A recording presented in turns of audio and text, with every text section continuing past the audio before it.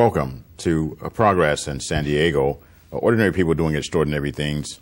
I'm your host, Walter Davis, and we have a very interesting interview on this evening uh, with a very, very helpful young woman by the name of Juanita Ayson. Thank you so much for coming, Juanita. Thank you, Walter. It's nice to be here. Nice oh, to see you again. It's always good to see you. And, and, and Juanita is a holistic practitioner, and, and her specialty, among others, and what we're going to talk about tonight is acupuncture. And so there's a lot of mysticism, right, surrounding acupuncture and what it is. Is that not so? It, it, that's true. Um, but it's much better than it was when I first started practicing. So I um, got my license in 88, and there was a lot of mysticism then. And I um, there were um, times when I just, I had a book called um, The Wuling Dancers. And sometimes people would come to me and they'll say, I, I, I don't know why I'm, I'm here, um, but I have this condition and I'm not, I don't even understand it, how acupuncture can help me, how it works. And um, so I would send them home with a book on quantum physics and they'd read that and they'd come back, okay, I understand. it's all about energy. Mm-hmm. And the more we understand energy, and now, now I think it's, it's catching on. People are grasping the concept of that energy is everywhere. And it's not, and we, we may not see it, but we know it's there, and, and people are, are understanding that. So once you grasp the concept of energy, Mm-hmm. Or even start thinking when people say, "Oh, the energy in this room just doesn't make me feel good." Mm-hmm. Once you say that, once you have that statement out there, you're getting to understand energy, and that's what acupuncture is about. It's about the energy of the body. So uh, th- this is sort of an aside, but is this at all related to dark energy and dark matter? Are you familiar with those concepts at all? No. I hate, I hate to put you on the spot with that, but you said energy is everywhere, and so dark matter and dark energy are things that scientists have discovered to be everywhere. Uh, but at, at any rate, tell me about. You said when you started out. So when did you start out in acupuncture? I've been practicing for 24 years. Wow. How did you get started in acupuncture? I was actually getting um, my master's degree in visual arts uh, and my son, who was born perfectly healthy, very robust and full of energy, good energy. And um, but in about six months, it started to change. By eight months, we noticed a big change in him. And uh, Western medicine wasn't taking that much notice. I kept saying he was he was born so healthy. Look, he's lost weight. He's losing hair, and they said, well, he's not at a critical situation right now. And I go, I don't want to wait until he's in a critical place. And so I started doing research myself on what possibly could be wrong.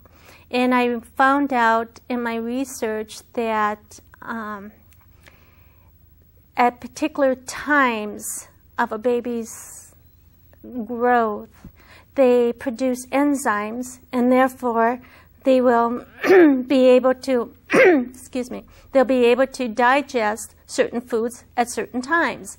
So you don't, you don't give a, a baby certain kinds of foods that they don't have the enzymes yet being produced. And that's that's at particular times of their growth. So his enzymes didn't kick in. And I went back to the pediatrician and I said, Could we do an enzyme test? Which is just a saliva test. And he said, Oh, no, no, no, no, no. Uh, and I said, Well, why not? And he said, Well, if we, on a mother's whim, um, just did what they wanted us to do, the insurances aren't going to pay, and we can't, we don't have time for that. So I started to look for other means of um, his care, and then I went to natural medicine. And I went to a naturopathic physician, and she said, Oh, well, his enzymes didn't kick in, meaning then that he was being malnourished. So, and that was the problem. And so she treated him with some homeopathy and some herbs. And she said, I want you to go over to the acupuncture school and, um, and have him treated there and get the herbs that other herbs that he needs. So I did that. And um, in just a few months, three to four months, I would say he was 90 some percent better. He had a little milk allergy for a while after that. Wow. And so I was at the acupuncture school, and the founder of the school said, You'd be good at this. And I thought, Well, I feel so far away from what I was doing. Mm-hmm. So there I was. Well, I'm glad that you did uh, go there because you certainly benefited me in a very positive way. Uh, did you want to take a drink of water? You seem like you were clearing your throat. Yes, go, go right ahead, you. and then I can tell the audience about how okay, wonderful you are. Thank you. When I was suffering from prostate cancer, uh, Juanita was integral in me learning about how to cleanse my body. I didn't even realize I needed to be on an active cleansing campaign. And I had no sense of energy, energy being everywhere, and in how the energy needed to be equalized in my body. And so, having no, I was totally ignorant of these concepts. Um, and I was actually referred to uh, Juanita by a young professor who said that she had been bedridden, unable to walk, sores on her uh, legs, etc., hair coming out. And then when she went to visit Juanita, uh, Juanita was able to show her ways to recover. And, and Western medicine wasn't able to help this particular young woman. And so I just want to thank you for what you've done for me personally. I can vouch for that. I know that you have a license and you can't say you cure all kinds of things, but I can say it. I can say that uh, I wouldn't be here today if it wasn't for this young woman. So, with that, tell me more about this energy equilibrium that you were talking about. Um, and, and people may have questions. Does it is it painful when you put the is needle is that the correct term? Yes, what do you the call it? needles. Put the needle in into people. Is that painful? Talk more about the energy stuff as well, please. Okay. Um, uh, let's address the pain part of it. I, I know a lot of people are afraid of the needles, and um, that's the reason why they don't go to an acupuncturist. I and when they state this to me, I said, "Come on, you know, and we won't do needles. We'll do the acupressure points, and the educational part of it is is a great part of it. Also, like you said in the beginning, is that I do holistic medicine, and that means I um, work on all levels of of existence, and that's the mind, the body, um, and also the spirit of, of, of, people. And I say spirit in, in a loose way, um, meaning um, just pretty much their own belief systems. And so if they're thinking negatively, we want to have them thinking positively. So um, because that has an effect also on, on the healing healing process. So I ask people to just come in and have the consultation. Let's talk about what's going on with your health. And um, we can do some pressure points and do a little reflexology. And I'll and the re, the pressure points I'll use is the points I'll use with the acupuncture. Mm-hmm. So as they come in and I do that, it doesn't take very long, and they'll say, "Well, let me try just one needle." and they're very surprised, very surprised how little they feel when I insert the needle. Mm-hmm. And uh, you want a little of a sensation, I'll, I'll go ahead and, and move the needle a little bit to get a little sensation, but it's not painful. And I don't want to say that it doesn't happen every once in a while that you feel something. Mm-hmm and um, and it could be because the energy is just really stuck in that area. Mm-hmm. Um, it's definitely not at all like getting an injection. Mm-hmm. We just need to just wipe that out of your mind. Those needles are very thick, mm-hmm. and they have holes in the ends of them. Because they're either putting something in or taking something out. Right. and so, yes, that's painful.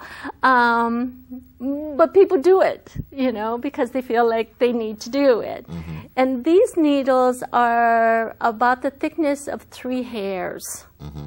They're very, very thin. Right. And and if you get, uh, you know, it, if you do it correctly, you, the acupuncturist learns how to just do it so nicely where it just past the um, the sensation part of the right at the top of the skin right in and, and it actually feels when you get the needles in you're laying on the table it feels actually very very good and I can vouch for that. Um, I know that I have gone and had intense lower back pain, and after a session with you, it was gone. I can I can certainly say that. So, you you mentioned you treat the the spirit. There's sort of a site. Is there a psychological component with this as well? Uh, I know that you you talk to people and you tend to have a way of bringing people at ease. So th- this is a multifaceted methodology, is it not? Every acupuncturist treats um, sees their patient differently, mm-hmm. um, and um, but you'll you'll see that they'll spend a lot more time. Um, with their patients, um, simply because it's important to um, understand in order for us to select the needles where we're going to put the points.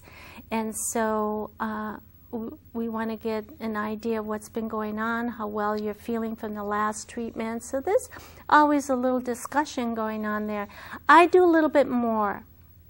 My feeling is that uh, let's just talk about the things that are on your mind right now, the things that are worrying you, um, some concerns that you have, and get them out on the table and get an understanding about them so that when you get on the table, all that is said and come to certain kinds of feelings where you're at ease with whatever is happening. And then when you're on the table, it's all about the body healing.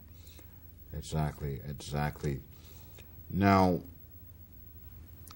acupuncture has been around for how long? Thousands of years? In, several in, thousands of years. Several thousand. And, and where did it originate? Can you talk on that or? It actually originated, the story that I, I've gotten on it, anyways, mm-hmm. is that um, during times of war, and I, I we'll say in Asia. Okay, um, but there are some. I've I've heard that there is history in other parts of the world, in which it was hap- um, it was happening. They were using needles for um, not needles because there weren't any needles, but it was they would actually have stone, and they would grind them down and they would actually be using those instead. Um, but how I got the story was people would get speared or injured um, during wartime. Uh, and what they had found is the places where they got injured uh, actually helped other parts of their body. So they have an injury here, but maybe something over here became better. And so this, this was questioned for probably quite a long time and documentation on this, and then studied and realize that yes, if you do something in one area, it will have an effect on another part. So that's where it all started. And, um, and of course, it, it took a long time for, for it to be perfected. But once it was perfected, it still was around for another another thousand years. And so we have an empirical medicine here that um, over time just has proven yes, it works. Wow, that is really fascinating.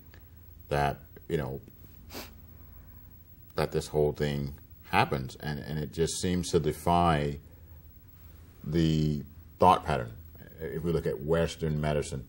Maybe you can elaborate further on that. can you can you talk about some of the differences between holistic treatment and Western medicine as far as what your viewpoint is? Well, when acupuncture originated several thousand years ago, the philosophy of these cultures that was using these methods had an understanding of nature and energy. Western medicine is totally was totally void of the concept and of that energy existed.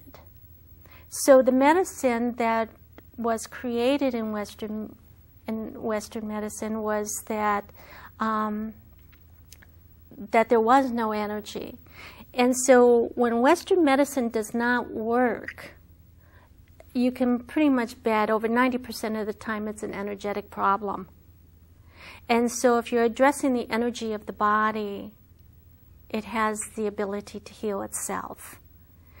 And um, that's, that's primarily the difference. And now, though, it's changing, and there are some changes. So, uh, in the future, I, I think we, we're going to see where Western medicine and acupuncturists are going to be working together.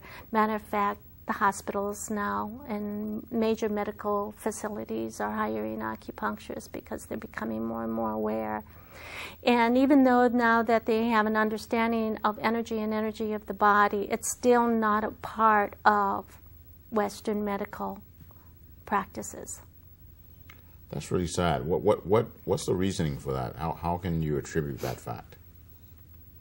What's the reason? It's mm-hmm. it's just um, that they're not making any changes with it. Uh, you know, I don't want to say that when you said it's very sad. I don't. You know, there, Western medicine does have its place, mm-hmm. and and so I just as soon just go ahead and let Western medicine do what they're doing. Um, well, I don't want to say that 100%. There are some things that I don't in, agree with. In other words, you, you, don't want to discredit Western medicine. You, no. You want, you want, to say that um, it, it, it, has its place. I guess that's the. It has its place. The mm-hmm. whole thing, though, is the respect and the awareness of what acupuncturists do. Mm-hmm. And if we can get the two to work together so you know when to have the acupuncturist being treated. You know, there are times when I'll say, I, I, would like you to, you know, to go and see your Western medical practitioner, or go to the hospital. You broke a bone, you know. And so I would like to see a Western medical practitioner say, "Go see an acupuncturist." Mm-hmm. You know, to know when to refer to the acupuncturist. They know when to refer to the gynecologist, to the um, other other um, phys- um, practitioners. Mm-hmm, mm-hmm.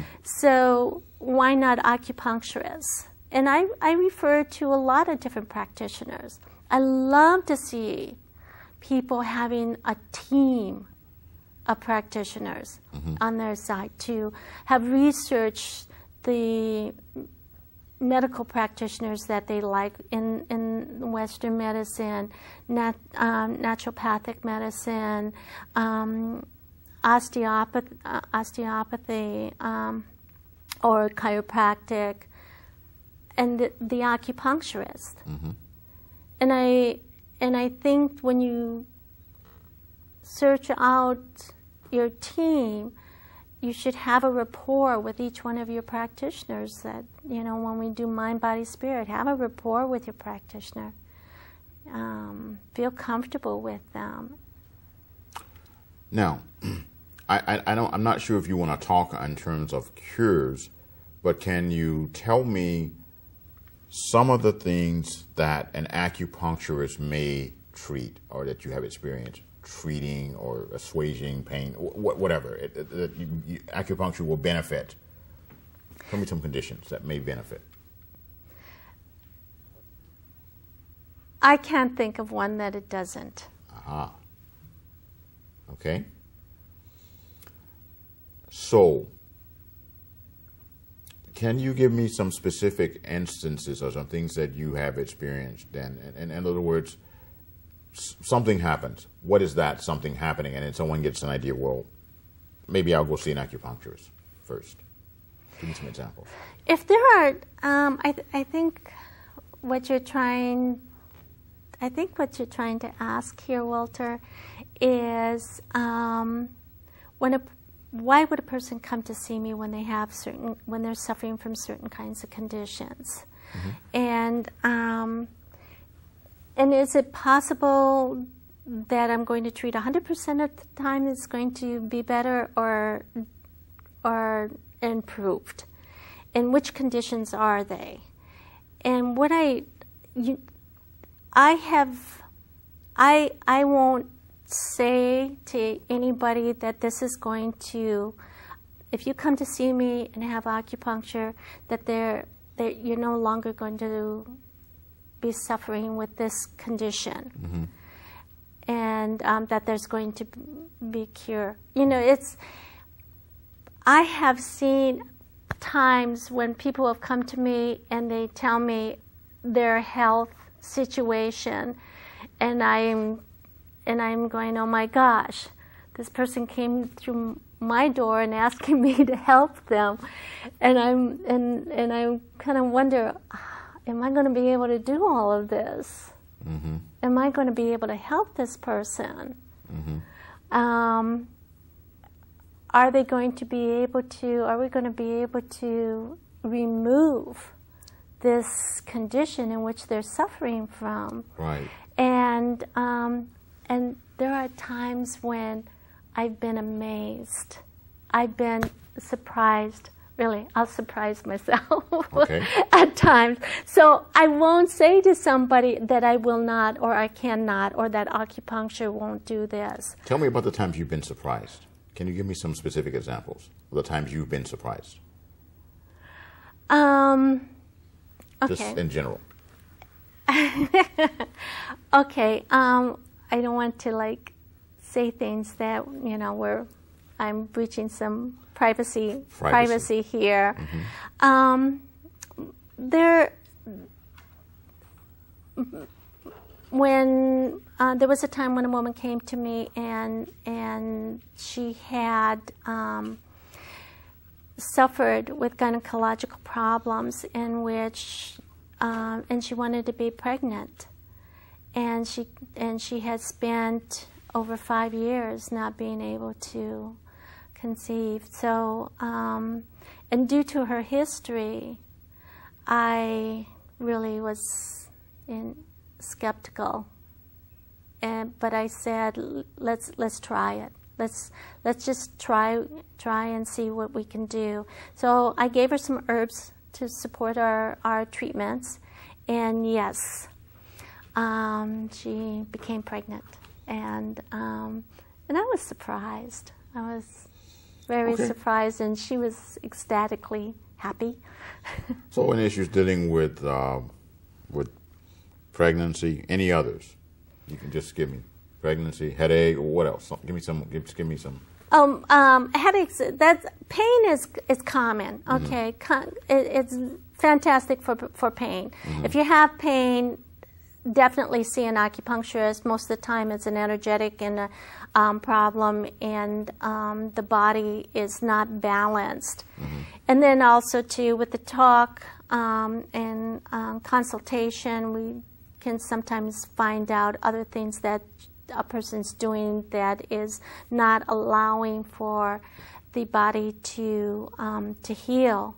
And but pain is usually blocked energy or blocked blood and energy in the system. And so you just break the blockages up and get the system the energy moving and the blood flowing well. And it usually it, um, most of the time.